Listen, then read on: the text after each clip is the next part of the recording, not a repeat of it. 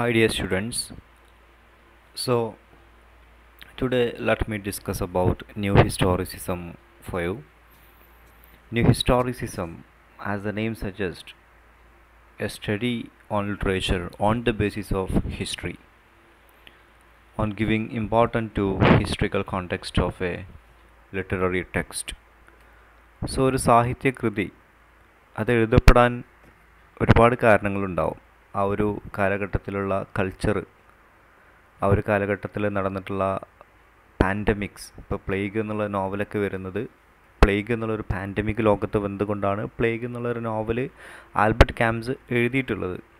So അതുപോലെ ഓരോ സമയത്തും ഓരോരോ നോവലുകൾ ഡ്രാമകൾ ഇറങ്ങാൻ വേണ്ടിയിട്ടൊക്കെ അതെല്ലാം ആളുകൾ എഴുതാൻ വേണ്ടിയിട്ട് റൈറ്റേഴ്സ് എഴുതുന്ന സമയത്ത് അതിനെല്ലാം ഒരു കാരണങ്ങൾ ഉണ്ടായിട്ടുണ്ട്. സാംസ്കാരികപരമായിട്ടുള്ള കാരണങ്ങളാവാം. ആ ഒരു സമയത്ത് രാഷ്ട്രീയപരമായിട്ടുള്ള കാരണങ്ങളാവാം.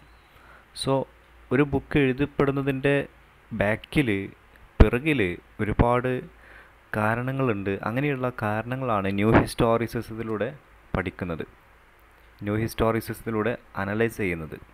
So let's move to the topic new historicism nineteen എയ്റ്റീസിലാണ് new historicism അതിന്റെ ഒരു സ്റ്റഡിയൊക്കെ തുടങ്ങുന്നത്. സ്റ്റീഫൻ ഗ്രീൻ പ്ലാട്ട് എന്നുള്ളൊരു വ്യക്തിയാണ് ഇത് കൊണ്ടുവരുന്നത്. ആയിരത്തി തൊള്ളായിരത്തി എൺപതുകളിലാണ് ന്യൂ ഹിസ്റ്റോറിസിസം സ്പ്രൗട്ട് ചെയ്ത് വരുന്നത്. ഇൻ ദ യു എസ് അമേരിക്കയിലാണിത് സ്റ്റാർട്ട് ചെയ്യുന്നത്. It's a method to criticise or to evaluate a literary work. ഒരു ലിറ്റററി വർക്കിനെ ഇവാലുവേറ്റ് ചെയ്യാൻ അതിനെ വിലയിരുത്താനും അതുപോലെ അതിനെ ക്രിട്ടിസൈസ് ചെയ്യാനും ഒക്കെയുള്ള ഒരു മെത്തേഡായിട്ടാണ് ന്യൂ ഹിസ്റ്റോറിസിസം എന്നുള്ള ഈ ഒരു സ്കൂൾ ഓഫ് തോട്ട് വരുന്നത്.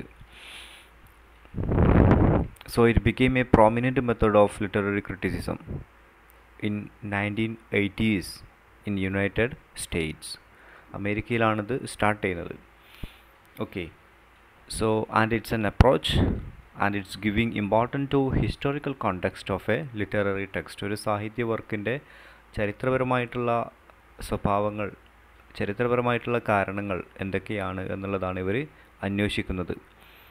And they don't give important to formal elements I mean formal elements എന്ന് പറയുന്ന സമയത്ത് നമ്മളൊരു ബുക്ക് വായിക്കുന്ന സമയത്ത് നമ്മൾ ഇമ്പോർട്ടൻസ് കൊടുക്കുന്നത് ഫസ്റ്റ് തന്നെ അതിന്റെ ടൈറ്റിൽസ് അതിന്റെ പേര് അതിലുള്ള ക്യാരക്ടേഴ്സ് അതിലുള്ള പ്ലോട്ട് അങ്ങനെയുള്ള കാര്യങ്ങൾക്കാണ്. പക്ഷേ ന്യൂ ഹിസ്റ്റോറിസിസ്റ്റുകൾ ഈ ബുക്ക് അനലൈസ് ചെയ്യുന്ന സമയത്ത് അവർ ഇമ്പോർട്ടൻസ് കൊടുക്കുന്നതിന്റെ കൾച്ചറൽ കോണ്ടെക്സ്റ്റിനാണ് അതിന്റെ ഹിസ്റ്റോറിക്കൽ കോണ്ടെക്സ്റ്റിനാണ് അതിന്റെ political കോണ്ടെക്സ്റ്റിനാണ് okay so it came as a reaction to new ക്രിറ്റി new criticism new ക്രിറ്റിസിസത്തിന് എതിരെയായിട്ട് അങ്ങനെ പറയാം. അല്ലെങ്കിൽ അതിനൊരു റിയാക്ഷൻ ആയിട്ടാണ് ന്യൂ ഹിസ്റ്റോറിസിസം വരുന്നത്. Okay. And it's against formalist approach of a literary text. Formalist approach which means ഒരു ടെക്സ്റ്റ് നമ്മൾ അനലൈസ് ചെയ്യുന്ന സമയത്ത് അതിന്റെ ഫോ ഫോർമ ആക്ച്വലി ആ ഒരു ടെസ്റ്റിൽ ഇംപ്ലിമെന്റ് ചെയ്തിട്ടുള്ള അതിന്റെ പല രീതിയിലുള്ള അതിന്റെ സ്ട്രക്ചർ അതുപോലെ അതിന്റെ ഫോം ഒരു ടെക്സ്റ്റിന്റെ ബേസിക് ഫോം അതിന്റെ ലൈൻസ് അല്ലെങ്കിൽ അതിന്റെ പാരഗ്രാഫ്സ് അതിന്റെ ടോട്ടൽ പ്ലോട്ട് അതിന്റെ സ്റ്റോറി എങ്ങനെയാണ് ഇവോൾവ് ചെയ്ത് വരുന്നത് അങ്ങനെയാണ് അതിന്റെ ഒരു ടെക്സ്റ്റിനൊരു ഫോം ക്രിയേറ്റ് ചെയ്യപ്പെട്ടിട്ടുണ്ടാവും. സോ ആ ഒരു ഫോമലിസ്റ്റുകൾ പഠിക്കുന്നത് ഈ ഒരു ഫോമിനെ base ചെയ്തിട്ടൊക്കെയാണ്.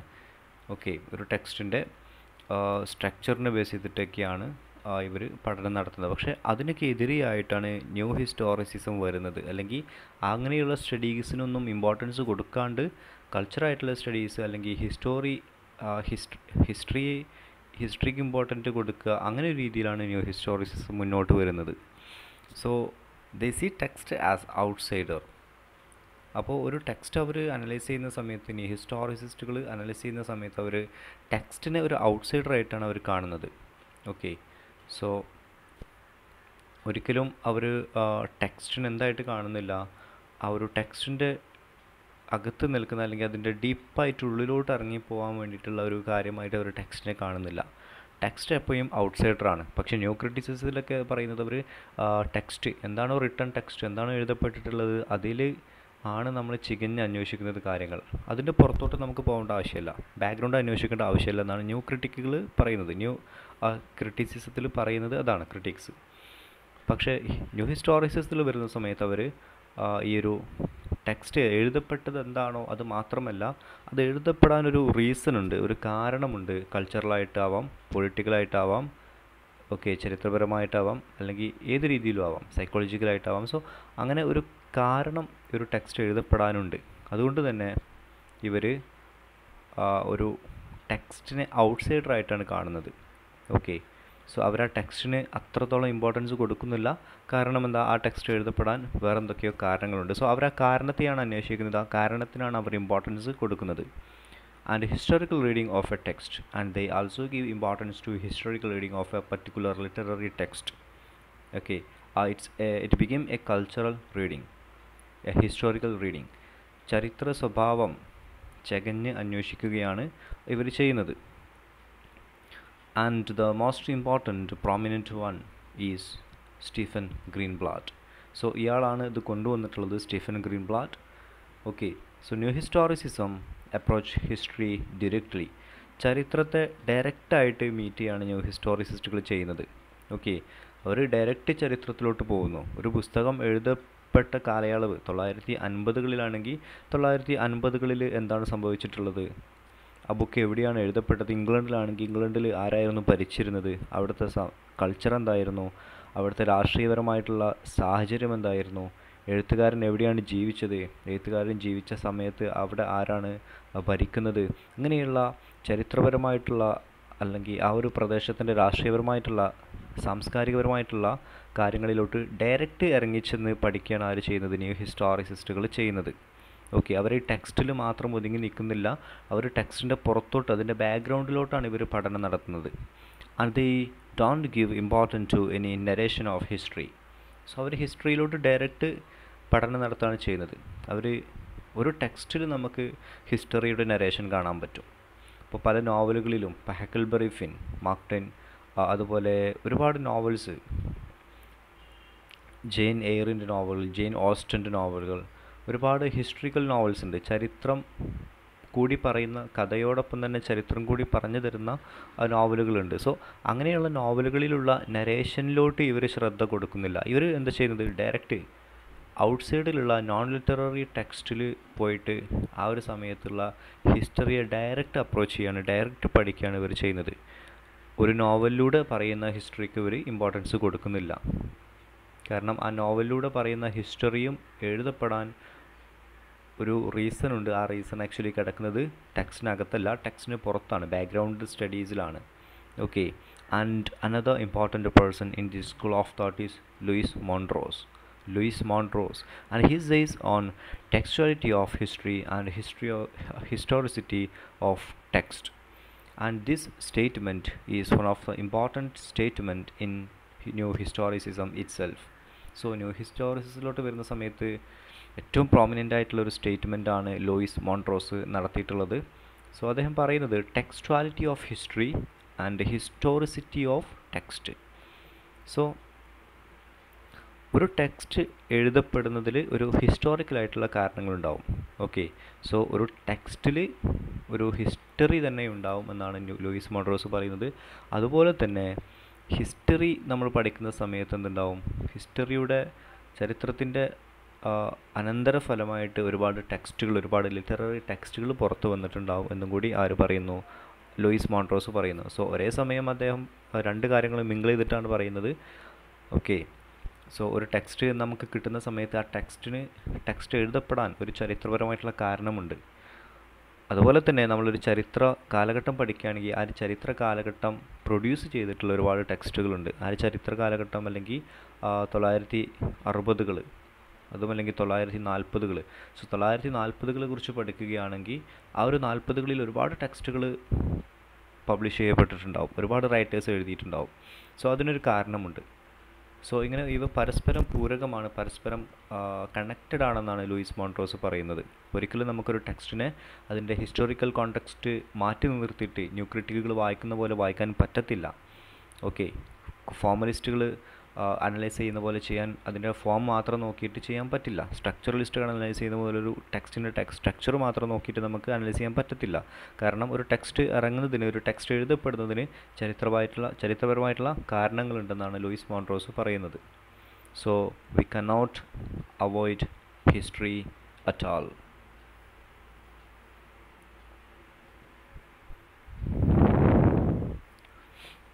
and now we have to look at some of the central tenets of new historicism in this photo so this particular photo has uh, actually uh, it's taken from your textbook itself so അപ്പോൾ കുറച്ച് പ്രധാനമായിട്ട് നാല് points ആണ് പറയുന്നത് new ഹിസ്റ്റോറിസിസത്തിലോട്ട് വരുന്ന സമയത്ത് പ്രധാനപ്പെട്ട നാല് പോയിന്റ്സ് ആണ് നമ്മളിവിടെ നോക്കാൻ പോകുന്നത് so the first one The best way to understand literature, which is a social and political construct, is to understand the historical and cultural conditions of its production. So ഒരു സാഹിത്യ വർക്ക് ഈ സാഹിത്യ work actually എന്തിന്റെ ഉണ്ടായി വരുന്നത് അത് construct ചെയ്ത് വരുന്നത് രാഷ്ട്രീയ രാഷ്ട്രീയപരമായിട്ടുള്ള സോഷ്യ അതുപോലെ സാമൂഹികപരമായിട്ടുള്ള പല കാരണങ്ങളെ കൊണ്ടാണ് സോ ഇങ്ങനെ ഇങ്ങനെയുള്ള കാരണങ്ങളെ കൊണ്ട് എഴുതപ്പെടുന്ന ജനിക്കുന്ന ഒരു ടെക്സ്റ്റിനെ അനലൈസ് ചെയ്യാൻ ഏറ്റവും നല്ലത് എന്ത് തന്നെയാണ് അതിന്റെ കൾച്ചറൽ കണ്ടീഷൻ എടുത്ത് പരിശോധിക്കുകയാണ് അല്ലെങ്കിൽ അതിന്റെ ഹിസ്റ്റോറിക്കലായിട്ടുള്ള കണ്ടീഷൻസ് എടുത്ത് പരിശോധിക്കുകയാണെന്നാണ് ന്യൂ ഹിസ്റ്റോറിസിസ്റ്റുകൾ പറയുന്നത് But this approach is fundamentally different from the traditional historicist approach of privileging the literary text against the background of non-literary text. So ഇവർ ചെയ്യുന്ന പ്രധാനപ്പെട്ട ഒരു പോയിന്റ് ലിറ്റററി ടെക്സ്റ്റിന് ഇമ്പോർട്ടൻസ് കൊടുക്കുന്ന പോലെ തന്നെ അതേപോലെ തന്നെ ഇവർ എന്തിനും ഇമ്പോർട്ടൻസ് കൊടുക്കുന്നു. നോൺ ലിറ്റററി ടെക്സ്റ്റിനും ഇമ്പോർട്ടൻസ് കൊടുക്കുന്നു. ഐ മീൻ ഒരു നോവൽ തൊള്ളായിരത്തി അൻപത്തി ഏഴിൽ എഴുതിയ ഒരു നോവൽ അവർ പരിശോധിക്കുന്ന സമയത്ത് അവർ ആ നോവലിന്റെ മറ്റ് നോവലുകളല്ല പരിശോധിക്കുന്നത്. ആ നോവൽ എഴുതപ്പെട്ട കാലയളവിൽ എഴുതപ്പെട്ടിട്ടുള്ള മറ്റ് non literary text I mean religious text ആവാം. പൊളിറ്റിക്കലായിട്ടുള്ള ടെക്സ്റ്റുകളാവാം സോ ഏത് രീതിയിലുള്ള ടെക്സ്റ്റുകളും ആവാം. സോ ആ ഒരു പ്രത്യേക വർഷത്തിൽ എഴുതിയിട്ടുള്ള മറ്റ് ടെക്സ്റ്റുകൾ ഇവർ അനലൈസ് ചെയ്യുന്നു. എന്നിട്ട് അവർ ഈ നോവലിലോട്ട് വന്നിട്ട് വീണ്ടും ഇതിനെ കമ്പയർ ചെയ്ത് അനലൈസ് ചെയ്യുന്നു. സോ നോൺ ലിറ്റററി ടെക്സ്റ്റിനെ ഇവർ അനലൈസ് ചെയ്യുന്നു. എന്തിനു വേണ്ടിയിട്ട്? ലിറ്റററി ടെക്സ്റ്റിന്റെ മീനിങ് ലിറ്റററി ടെക്സ്റ്റിന്റെ ഇന്റൻഷൻ കറക്റ്റ് കിട്ടാൻ വേണ്ടിയിട്ട്. So new criticism places both the literary and non literary text on the same pedestal. So new ക്രിറ്റിസിസ് new ഹിസ് സോ ഇവിടെ ന്യൂ ക്രിറ്റിസിസം അല്ല ന്യൂ ഹിസ്റ്റോറിസിസമാണ് വരേണ്ടത്. സോ ന്യൂ ഹിസ്റ്റോറിസിസിലോട്ട് വരുന്ന സമയത്ത് അവരെന്താ ചെയ്യുന്നത്? ഒരേ വേദിയിൽ ഒരേ തരത്തിൽ അവർ എന്തിനു കാണുന്നുണ്ട്? ലിറ്റററി ടെക്സ്റ്റിനെയും നോൺ ലിറ്റററി ടെക്സ്റ്റിനെയും കാണുന്നുണ്ട്. ന്യൂ ഹിസ്റ്റോറിസിസം ന്യൂ ഹിസ്റ്റോറിസിസ്റ്റുകൾ നോൺ ലിറ്റററി ടെക്സ്റ്റിനെയും ലിറ്റററി ടെക്സ്റ്റിനെയും ഒരുപോലെ കാണുകയും ഒരുപോലെ അവർ അതിനെ കീറി മുറിച്ച് പരിശോധിക്കുകയും ചെയ്യുന്നു. Okay and the second point new historicism rejects the transcendental quality or existence of literature independent of temporal elements. So new ഹിസ്റ്റോറിസിസ്റ്റുകൾ reject ചെയ്യുന്നുണ്ട്. എന്തിനെയാണ് അവർ റിജക്റ്റ് ചെയ്യുന്നത് പ്രധാനമായിട്ടും? ആക്ച്വലി ട്രാൻസെൻഡന്റൽ ക്വാളിറ്റി ഒരു അവ്യക്തമായിട്ടുള്ള ക്വാളിറ്റി അവ്യക്തമായിട്ടുള്ള എന്തെങ്കിലും ക്വാളിറ്റീസ് ഏതെങ്കിലും ടെക്സ്റ്റിനുണ്ടെങ്കിൽ അവർ അത് റിജക്റ്റ് ചെയ്യുന്നു. എന്നിട്ട് അവർ ചെയ്യുന്നത് അതിനെ ആഴത്തിൽ പഠിക്കുകയാണ് ചെയ്യുന്നത്. മറ്റ് നോൺ ലിറ്റററി ടെക്സ്റ്റുകളിലൂടെ ഇറങ്ങി ചെന്ന് പഠിച്ചിട്ട് അവരിതിനെ കമ്പയർ ചെയ്യാൻ വേണ്ടിയിട്ട് വീണ്ടും വരുന്നു. സോ ഈ ഒരു അവ്യക്തമായ ട്രാൻസെൻഡന്റൽ ക്വാളിറ്റി ഒരു അവ്യക്തമായിട്ടുള്ളൊരു ക്വാളിറ്റി അവ്യക്തമായിട്ടുള്ള എന്തെങ്കിലും ഒരു സ്വഭാവം ഒരു പുസ്തകത്തിനുണ്ടെങ്കിൽ അവരതിനെ റിജക്റ്റ് ചെയ്യുകയാണ് ചെയ്യുന്നത്. Okay existence of literature independent of temporal element അതുപോലെ സാഹിത്യത്തിന്റെ നിലനിൽപ്പ്. അത് ലൗകികപരമായിട്ടുള്ള മെറ്റീരിയൽ ആയിട്ടുള്ള പല കാരണങ്ങളെ കൊണ്ട് പല എലമെൻസിനെ കൊണ്ടാണ് എന്നുള്ള കാര്യങ്ങളും ഇവർ റിജക്റ്റ് ചെയ്യുന്നു. സോ ഇവർ ഇങ്ങനെയുള്ള കാര്യങ്ങളെല്ലാം റിജക്റ്റ് ചെയ്യാൻ കാരണം ഇതിന്റെ പിറകിൽ ഹിസ്റ്ററിക്ക് പങ്കുണ്ട് കൾച്ചറിന് പങ്കുണ്ട് പൊളിറ്റിക്സിന് പങ്കുണ്ട് എന്നുള്ളത് കൊണ്ടാണ് ഇവർ ഇത്തരം കാര്യങ്ങൾ റിജക്റ്റ് ചെയ്യാൻ കാരണം. And it situates literary text among or the text of its age like religious legal and scientific so ഒരു നോവൽ എഴുതപ്പെട്ട വർഷം സെയിം വർഷം എഴുതപ്പെട്ട റിലീജിയസ് ടെക്സ്റ്റുകൾ ഉണ്ടാവാം ലീഗൽ ടെക്സ്റ്റുകൾ ഉണ്ടാവാം സയന്റിഫിക് പേപ്പറുകൾ ടെക്സ്റ്റുകൾ ആർട്ടിക്കിൾസ് ഒക്കെ ഉണ്ടാവാം. സോ ഇവർ ഇതിനെല്ലാം പരിശോധിക്കുന്നുണ്ട്. എന്തിനു വേണ്ടിയിട്ട്? ഈ ഒരു നോവലിൽ എഴുതപ്പെട്ട അല്ലെങ്കിൽ ഒരു ഡ്രാമയിൽ എഴുതപ്പെട്ട സാഹിത്യത്തിൽ എഴുതപ്പെട്ട ഈ ഒരു കാര്യം അതിന്റെ മീനിങ് ഫുള്ളായിട്ട് കിട്ടാൻ വേണ്ടിയിട്ട് ഇവർ മറ്റുള്ള നോൺ ലിറ്റററി ടെക്സ്റ്റുകൾ അനലൈസ് ചെയ്യുന്നു എന്നുള്ളതാണ് പ്രധാനപ്പെട്ട point like all other text literary text also has historicity so സാഹിത്യപരമായിട്ട് എഴുതുന്ന എഴുതപ്പെടുന്ന ഒരു വർക്കിനും എന്തുണ്ട്? ഹിസ്റ്റോറിസിറ്റി അതിലുണ്ട്. ഹിസ്റ്റോറിസിറ്റി മീൻസ് എന്താണ്? ഒരു ചരിത്ര സ്വഭാവം ആ ഒരു ടെക്സ്റ്റിനും ഉണ്ട് എന്നാണ് ഇവർ പറയുന്നത്. ആ ചരിത്ര സ്വഭാവത്തെയാണ് ഇവർ പഠിക്കുന്നത്. ഒരു പുസ്തകത്തിൽ അടങ്ങിയിട്ടുള്ള ചരിത്ര സ്വഭാവത്തെയാണ് ഇവർ പഠിക്കുന്നത്. They are the representations of their historical and cultural context so ആ ഒരു പുസ്തകത്തിൽ ഇൻക്ലൂഡ് ആയിട്ടുള്ള ചരിത്ര സ്വഭാവം എന്താണ്? ഒരു തരത്തിലുള്ള റെപ്രസെന്റേഷൻസ് ആണ്. ആ ഒരു കാലഘട്ടത്തിലുള്ള ചരിത്രപരമായിട്ടുള്ള പല കാര്യങ്ങളും ആ പുസ്തകത്തിലുണ്ടാവാം ആ നോവലുണ്ടാവാം കൾച്ചറൽ കോണ്ടെക്സ്റ്റ് ആ നോവൽ ഇൻക്ലൂഡ് ആവാം. സോ അതിനാലാണ് ഇവർ കൾച്ചറലും പൊളിറ്റിക്കലും ഹിസ്റ്റോറിക്കൽ പരമായിട്ടുള്ള കോണ്ടെക്സ്റ്റുകളിലൂടെ പഠനം നടത്തുന്നത്. So the third point will be okay following Foucault so Michel Foucault Michel ഫുക്കോൾട്ടിന്റെ അഭിപ്രായത്തിൽ എന്താണ്? New historicist history as a series of rupture new ഹിസ്റ്റോറിസിസ്റ്റുകൾ ചരിത്രത്തെ കാണുന്നത് സീരീസ് ഓഫ് റെപ്ഷർ എന്നുള്ള നിലയിലാണ്. I mean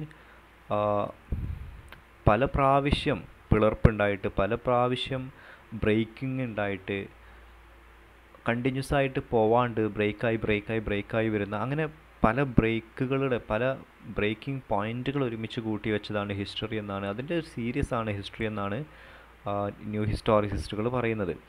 There is no continuous course of history so ചരിത്രം ഒരിക്കലും അത് തുടർച്ചയല്ല. അതിന്റെ അത് ആക്ച്വലി മുറിച്ച് മുറിച്ച് മുറിച്ച് ഉള്ള കാര്യങ്ങളാണ്. അത് ഒരുമിച്ച് വെക്കുന്ന സമയത്താണ് ചരിത്രമായിട്ട് നമുക്ക് കിട്ടുന്നത്. ഓക്കെ ഓർ യൂണിഫോം കൾച്ചർ അതുപോലെ തന്നെ ഒരു ഒറ്റ പാറ്റേണിൽ പോകുന്ന ഒരു കൾച്ചറും ഒരു ചരിത്രം സൃഷ്ടിക്കുന്നില്ല എന്നുകൂടി ഇവിടെ കാണാൻ പറ്റും. So uniform culture view that can be attributed to any given period in history so ഇവിടെ പറയുന്നത് ചരിത്രം എന്ന് പറയുന്നത് ഒരു പ്രത്യേക കാലഘ കാലഘട്ടത്തിലുള്ള ആയിരത്തി തൊള്ളായിരത്തി അൻപത് മുതൽ ആയിരത്തി തൊള്ളായിരത്തി എഴുപത് വരെ ഇന്നതായിരുന്നു ചരിത്രം എന്ന് നമുക്ക് പറയാൻ പറ്റത്തില്ല. ഇങ്ങനെയായിരുന്നു ചരിത്രം എന്ന് പറയാൻ പറ്റത്തില്ല. കാരണം ചരിത്രം ബ്രേക്കിംഗ് പോയിന്റുകളാണെന്നാണ് ന്യൂ ഹിസ്റ്റോറിസിസ്റ്റുകൾ പറയുന്നത്. പല പോയിന്റുകൾ ഒരുമിച്ച് കൂട്ടിവെച്ച ഒരു ചെയിന് പോലെയാണ് ഹിസ്റ്ററി എന്നാണ് ഇവർ പറയുന്നത്. ഓക്കെ സോ അതിനൊരു യൂണിഫോം ക്വാളിറ്റി ഇല്ല അതിനൊരു കണ്ടിന്യൂഷൻ ഇല്ല.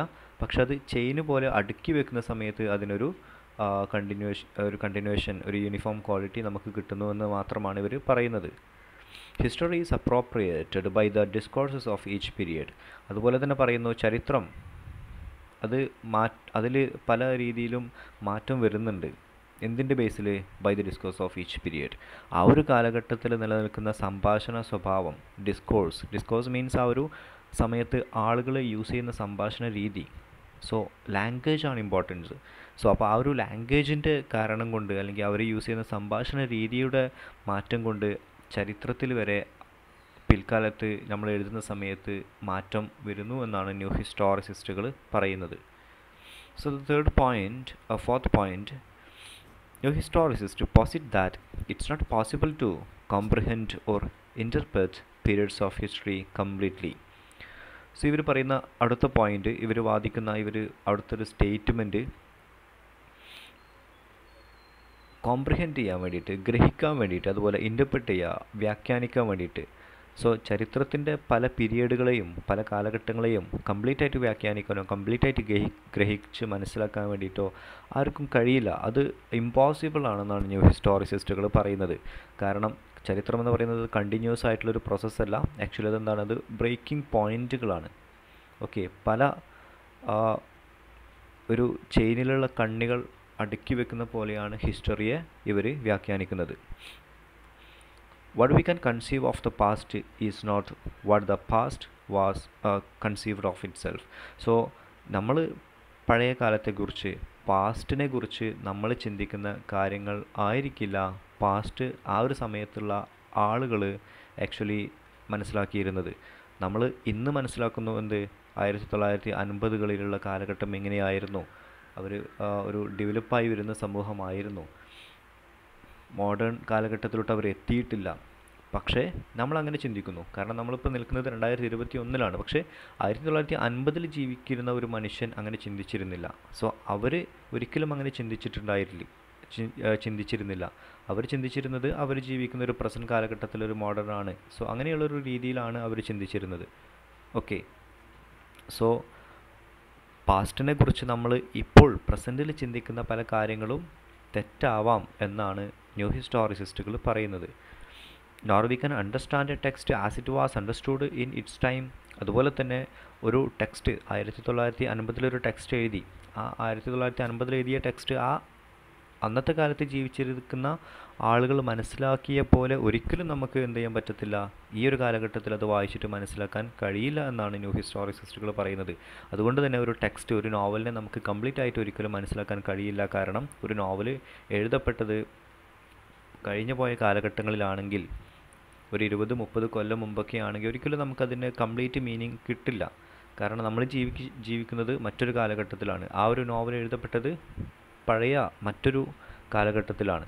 സോ അന്നത്തെ ആളുകൾ മനസ്സിലാക്കിയിരുന്ന പോലെ അതിന്റെ അർത്ഥങ്ങളും കാര്യങ്ങളും അതിന്റെ വ്യാഖ്യാനങ്ങളൊക്കെ മനസ്സിലാക്കാൻ വേണ്ടിയിട്ട് നമുക്ക് ഇന്ന് ഒരിക്കലും കഴിയില്ല എന്നാണ് ന്യൂ ഹിസ്റ്റോറിസിസ്റ്റുകൾ പറയുന്നത്. അതുകൊണ്ട് തന്നെയാണ് ഇവർ പറയുന്നത് ഹിസ്റ്ററി എന്നുള്ളത് അല്ലെങ്കിൽ ഒരു ടെക്സ്റ്റ് ബുക്കിൽ നമ്മൾ കാണുന്ന ചരിത്ര സ്വഭാവം കൾച്ചറൽ സ്വഭാവം പൊളിറ്റിക്കൽ സ്വഭാവം അതിനെ കംപ്ലീറ്റ് ആയിട്ട് മനസ്സിലാക്കി എടുക്കൽ പഠിക്കൽ ഒരിക്കലും പോസിബിൾ അല്ല എന്ന് പറയുന്നതിന്റെ പ്രധാനപ്പെട്ട കാരണം ഇത് തന്നെയാണ്.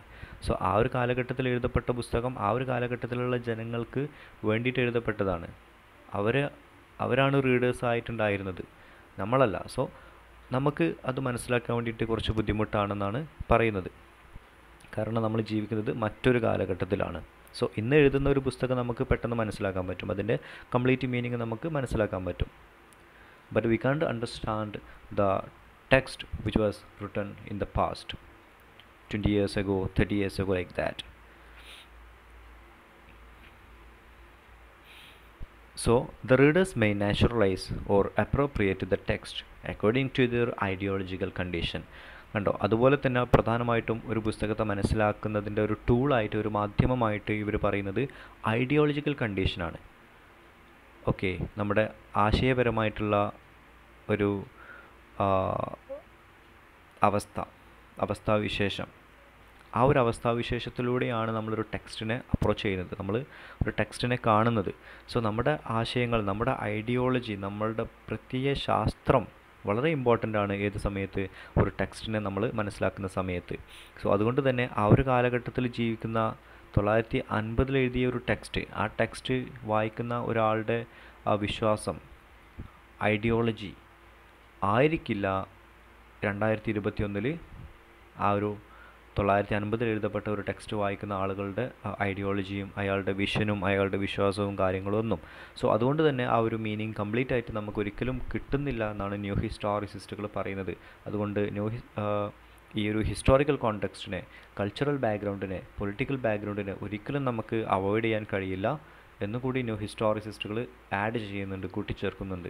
Okay so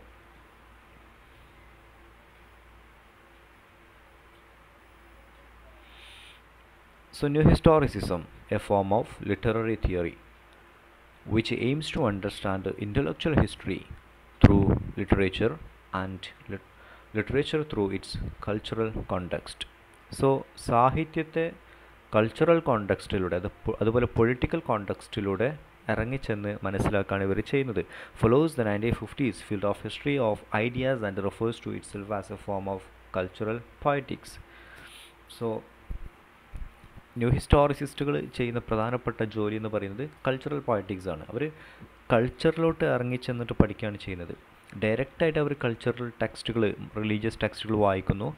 ഡയറക്റ്റായിട്ട് അവർ ലീഗൽ ടെക്സ്റ്റുകൾ വായിക്കുന്നു. ഡയറക്റ്റായിട്ട് അവർ സയന്റിഫിക് ആർട്ടിക്കിൾസ് ലേഖനങ്ങൾ ടെക്സ്റ്റുകൾ എല്ലാം വായിക്കുന്നു. എന്നിട്ട് അവർ എന്ത് ചെയ്യുന്നു? ആ കാലഘട്ടത്തിൽ എഴുതപ്പെട്ട നോവലിനെ അവർ വിലയിരുത്തുന്നു. അങ്ങനെയാണ് ഇവരുടെ ജോലി ചെയ്യുന്നത്. നോൺ ലിറ്റററി ടെക്സ്റ്റിനെ വായിച്ച് മനസ്സിലാക്കിയിട്ട് ലിറ്റററി ടെക്സ്റ്റിനെ വിലയിരുത്തുകയാണ് ന്യൂ ഹിസ്റ്റോറിസിസ്റ്റുകൾ പ്രധാനമായിട്ടും ചെയ്യുന്നത്. ഓക്കെ സോ ഇത്രയും കാര്യങ്ങളാണ് ഇന്ന് പറയാൻ വേണ്ടിയിട്ടുള്ളത്. So Stephen Greenblatt Louis Montrose Louis മോൺട്രോസിന്റെ പ്രധാനപ്പെട്ട ഒരു സ്റ്റേറ്റ്മെന്റ് ഇങ്ങനെയുള്ള കാര്യങ്ങളെല്ലാം ഒന്ന് മനസ്സിലാക്കി വെക്കണം. ഓക്കെ. സോ എന്തെങ്കിലും ഡൗട്ട് കാര്യങ്ങളൊക്കെ ഇതിലുണ്ടെങ്കിൽ ചോദിക്കണം വളരെ കുറച്ച് കാര്യങ്ങൾ മാത്രമാണ് ന്യൂ ഹിസ്റ്റോറിസിസത്തിൽ പറയാൻ വേണ്ടിയിട്ടുള്ളൂ and it's a simple topic new historicism is a very simple topic when it compared to new criticism structuralism like that so if you have any doubts regarding to the topic that we have dealt right now uh, you should ask to me you can ask your doubts no problem in it you should ask okay so anyway let's meet for another video lecture for the same topic new historicism. Okay bye